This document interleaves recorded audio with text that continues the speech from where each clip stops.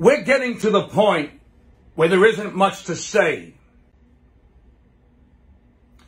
What's happening on the field is less words now and more bodily functions. You make me burp. You make me cry. You make me eat jars of Tums. You make my head hurt and I might have diarrhea. But that could have been the pregame meal. I won't blame the Hershey squirts on you.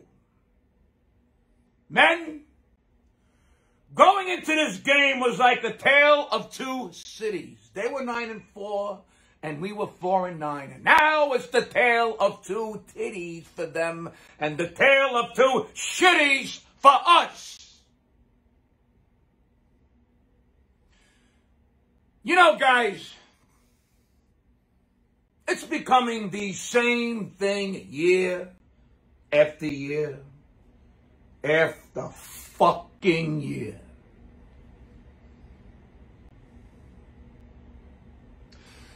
Did you know the last five years the Jets are 22 and 58 and we are 23 and 57? The Jets are the worst team in the NFL the last five years and we are only one game ahead of them. You know who has a better record than us over the last five years?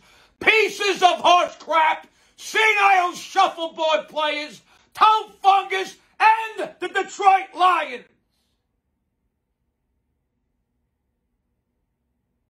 Guys, you're 31st out of 32 teams with the least wins.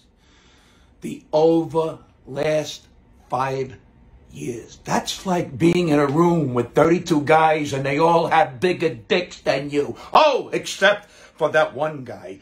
One guy has a smaller dick than you. Do you feel better because you have a bigger dick than the Jets? Barely!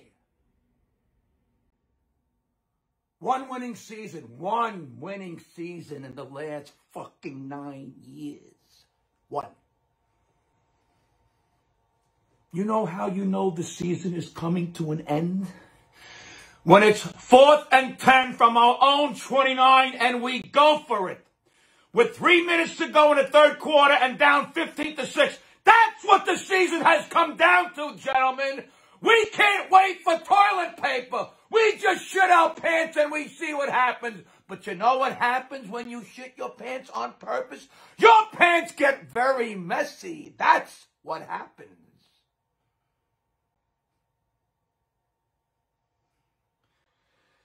Booker, where are you? You ran like, um, let me see, you ran the way Barkley is supposed to run. Glennon, Glennon, where are you? You 99 yards and three interceptions. You passed the way Barkley is supposed to pass. Fromm, hey, Fromm, Fromm got to see some action. I wouldn't call it garbage time. I say it was more like clean the porta John time with your tongue. Whatever.